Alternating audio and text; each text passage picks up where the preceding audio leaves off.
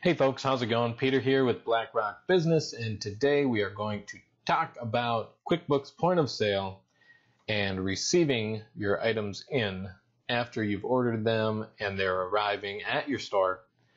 So previously we talked about making a purchase order and sending that to your vendor, whereby they would place your order and start fulfilling it and start sending you the stuff that you wanted to purchase for your store.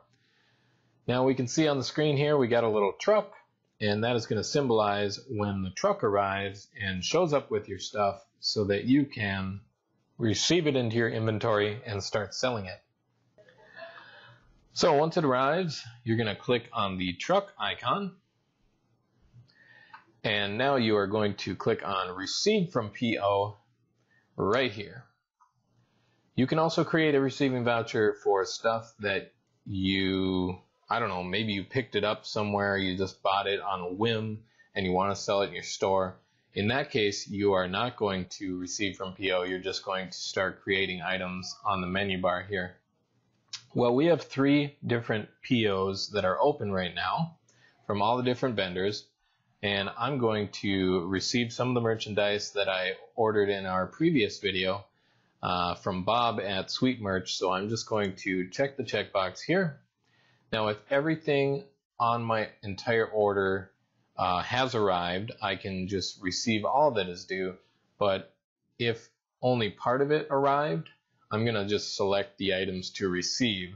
So um, some vendors you might order from may send uh, several different packages, maybe from different, maybe from different locations or different warehouses.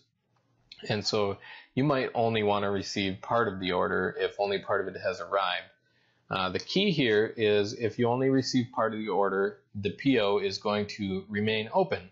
If you receive everything that you've ordered, then it's automatically going to close the purchase order. And that is the key in this system to help us know what is outstanding in an order and what has arrived. And if you don't see the purchase order anymore, then you can look in your receiving history and see that everything you ordered has arrived and has been loaded into inventory. So I'm just going to select a few items here, pretending that maybe only one of the t-shirts has arrived. So I got the four pen tester shirts and I'm going to hit continue. I don't think there's any reason for me to uh, copy over my notes from the purchase order. That was actually for the vendor. It's not really for me. But if there is some notes that you want in your receiving voucher for some odd reason, you can click the check mark there. Now I'm going to continue. It's going to automatically load in the amount that I ordered on purchase order number three into the quantity and into the item here.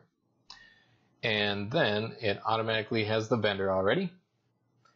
And really all I have to do is save or save and print. And if you save and print, it's going to print out a receiving voucher. I don't know, maybe you want to keep a paper trail or paper record. Maybe you're one of those super organized people. Now, before I save and print, if you watched the QuickBooks Financial video, the one where we attached point of sale to QuickBooks Financial, you can set uh, certain settings when you do that so that uh, we would automatically create a bill in QuickBooks Accounting that can be very useful because if you are receiving uh, your items that you ordered, you're going to have to pay your vendor at some point. So if I click on the billing info, you can either mark this voucher as already paid. Uh, if you paid up front, you can do that. Then it'll just automatically record uh, an expense or a paid bill. But if you have like a net 30 or net 45, then you're not going to check that. Uh, you're going to look at the slip that showed up with your merchandise, and maybe it has like some sort of maybe it has some sort of uh, purchasing number, invoice number, packing slip number, something like that. And you can just put any number in here really that helps you to define in QuickBooks accounting what this is and where it came from. So I'm going to hit close. You can certainly say net 30 here, and that'll set the bill in QuickBooks Accounting for Net30 so then you can see when your bill's due. So I'm going to go ahead and hit close and I'm going to save or save and print. Now this has popped up right here and it's told me that I've received orders for this shirt. And so I have an open customer sales order that wants to be fulfilled by this shirt.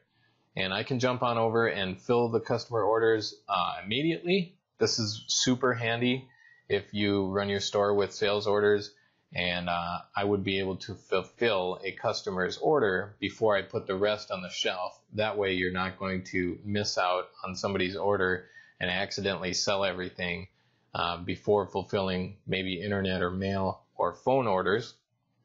I'm just going to close because that's kind of a different subject.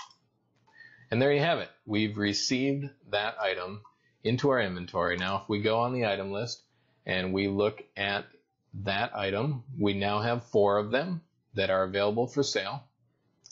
And also, if I jump into the receiving history, I can go ahead and look and see that we received four items from Sweet Merch on 531 and uh, the payment invoice number was this and the total cost was this and there you have it. Uh, we've received the inventory and now we can sell it. My name is Peter with BlackRock Business. Don't forget to check out some of the links below. We got a few QuickBooks secrets for you. Or you can jump on over to Facebook and join our QuickBooks point of sale uh, knowledge group where you can ask other users of QuickBooks point of sale your questions or get their opinions on ways to use point of sale to your advantage. My name is Peter. Have a great day.